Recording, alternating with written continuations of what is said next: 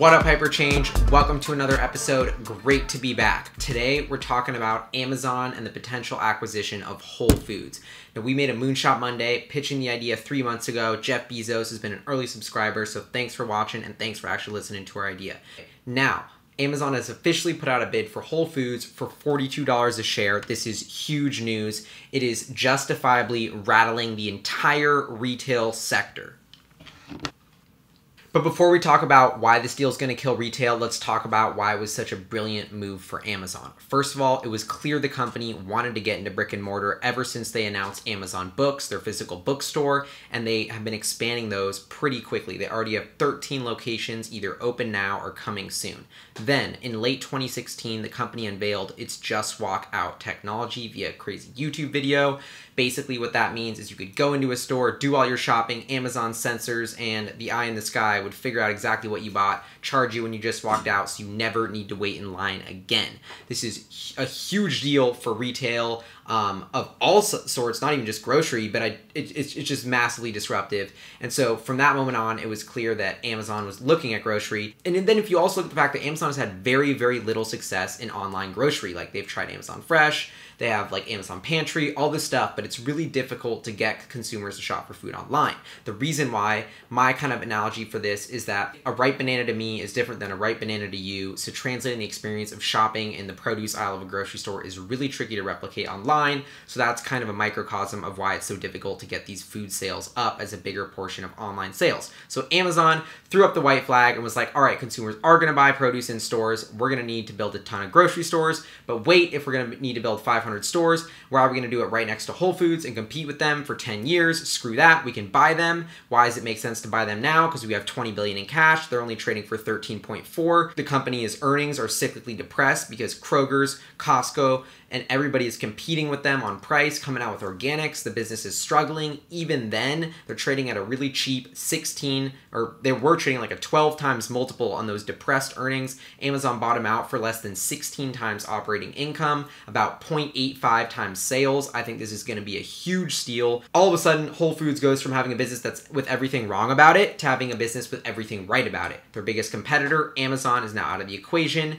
The Just Walk Out technology is a huge deal and competitive advantage. Not only is it going to mean that consumers and shoppers are way more happy to go to Whole Foods because we don't have to wait in line, but it's going to drop money to the bottom line. Labor is a huge piece of the cost of the grocery equation. If I don't have to pay my cashiers and I can have software instead, that's going to be way cheaper in the long run. That's going to mean either Amazon has room to boost the profits of Whole Foods, which is not going to happen, or dramatically lower the prices, which is going to happen. The classic Amazon approach is we're going to make this an even more profitable business and pass on those savings to the customer because we love the customer. And Walmart, Costco, Kroger, Target, everybody who's trying to compete on organic is going to be totally screwed. And this is an even bigger question and, and more fascinating piece of the equation is that Amazon isn't required to make a profit. Whole Foods much like every other grocery player that I've been mentioning, has the expect has created the shareholder expectations where they need to have a consistent profit, they need to be paying a consistent dividend. That is really hard to keep up, especially when you're competing with a company like Amazon, which doesn't have to pay a consistent dividend and which doesn't have to show any profits because its shareholders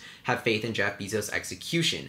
Now the Whole Foods has a massive competitive advantage because they have just walk out technology and they don't need to make a profit so they can charge even lower prices which leads to another competitive advantage which means they're going to go even more take even more market share. That's huge. The third thing on top of this that I think permeates every angle of where uh, Whole Foods is business is Amazon is really just a data company when you get down to it. They're going to be making every decision on what products to stock at Whole Foods like it was its online store and they're going to do it so much better than Whole Foods. For instance, me and my homies were trying to cook up BBQ, 4th of July, classic. Of course, the grocery store knows 4th of July coming. It comes every year. They should be the expert on what sells at 4th of July. We went to buy skirt steaks. Seems like a pretty obvious item that everybody would make on 4th of July. And of course it was, so we went two days early to go right into Whole Foods and like at 3 p.m. to get our steaks. What happens? They're sold out for the day, two days ahead of time. We go to the next day, we go to Eataly at 10 in the morning, a different grocery store. Luckily, they had two skirt steaks left. The butcher there told us that if we had come in any later, we wouldn't have gotten them. There was a guy who was there 30 minutes before us at 9:30 in the morning, insane, and he bought every other skirt steak except for the last two that we bought. So like this is just a microcosm of why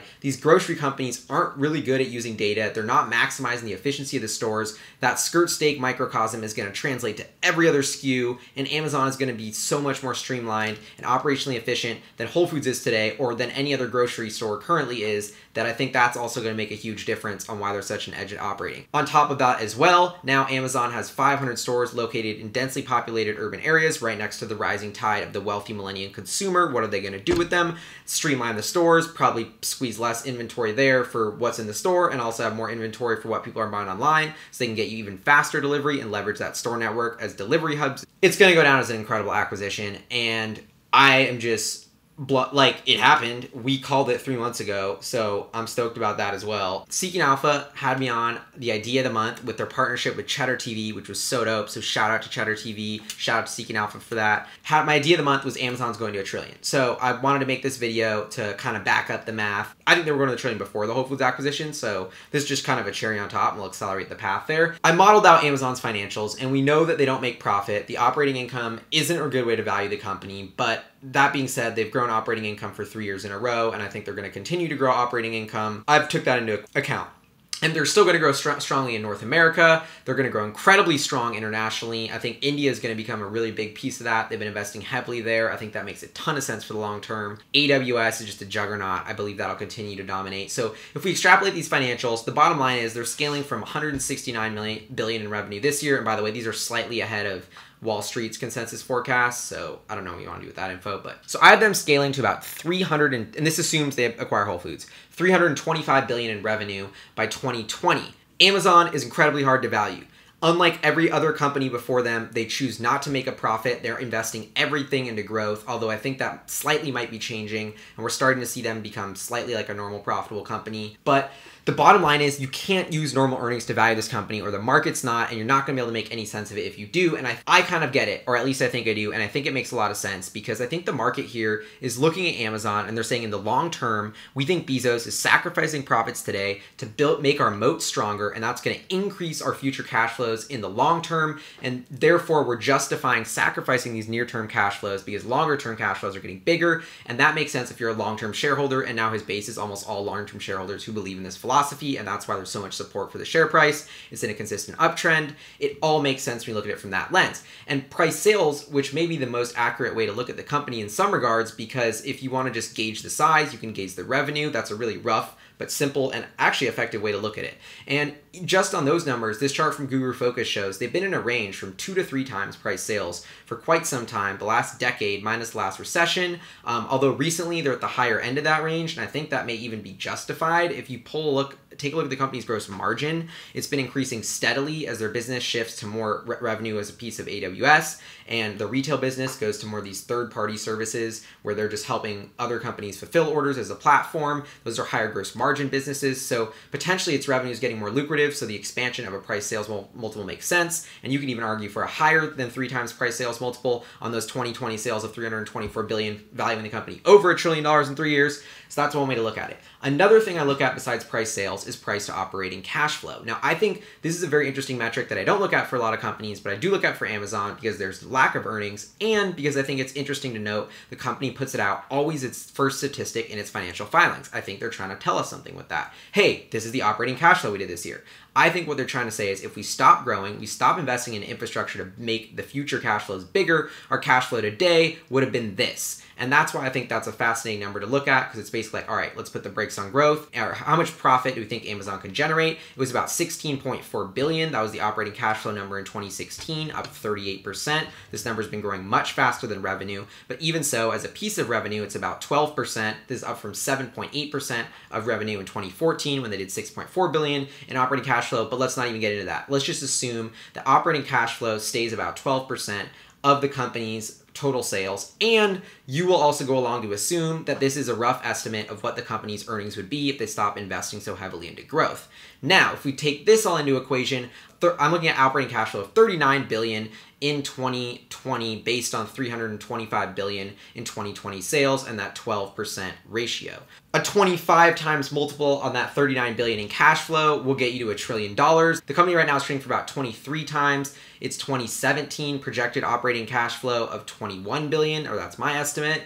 Yeah, I don't know. Um, Three times sales, 20 to 25 times operating cash flow are multiples that Amazon has traded at consistently, and I think it's reasonable to assume those will continue if the market keeps the same faith in its business. And therefore, I think if you extrapolate the growth in those pretty conservatively, you'll see why a lot of people are arriving to that $1 trillion valuation number in the next three to four years. It just kind of makes sense if you're extrapolating what's happening now.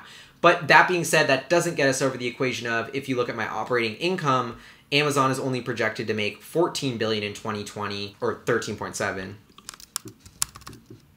So the multiple on that would be about 73 times operating earnings to be a trillion dollar market cap, um, and that's based on 2020. So that looks really expensive. So if the market says screw this old methodology, we just want to look at operating earnings. We're gonna give this a 10, a 20 times ratio because we don't even think Amazon's growing that fast anymore. Then yeah, the downside will get real, and this won't work. So I, that's so I'm still bullish on Amazon because I think it'll everything will continue and I think when it's worth a trillion, everyone's going to be talking about how it's going to be worth 2 trillion and that's why it doesn't matter that the earnings are what they are now. And I just think that's going to continue and I think in the long run in a decade or two, this will be well over a trillion. This will be a several trillion dollar company. But we can get into that later and the growth like there's so many reasons and tailwinds behind AWS, behind the Alexa business, behind retail, behind what they're doing with drones, behind what they now are going to do with Whole Foods to turbocharge physical retail. The Jeff Bezos's next scheme, his next seven schemes that he hasn't even schemed up are probably each worth a trillion. Add those onto the market. You know, I don't know. Point is, you have an incredible leader, you have an incredible business. I think the valuation to a trillion makes sense in 2020. That's in about three years. Scott Galloway, an NYU professor, we've shared some of his stuff before. I'm going to put links to his talks. He also has this thesis. To wrap it up, I want to say this is one of the most fascinating experiments in all of capitalism. Amazon, we've never had a company at this scale forego profits for so long, yet have so much success and yet have so much faith from the market. Like, when will this, when will Amazon, if ever, be valued by traditional metrics? Or maybe will every company never be valued by traditional metrics again? And we're in a new era of finance that values earnings power and what that could be in 10 years versus earnings now. And the traditional model of analyzing last quarter's statements and extrapolating is, I don't know, like we're in a new era of no and and the, the, the most ironic thing is Amazon's the only one in that era, and they're competing with Walmart and Costco and companies through this acquisition of Whole Foods that are just like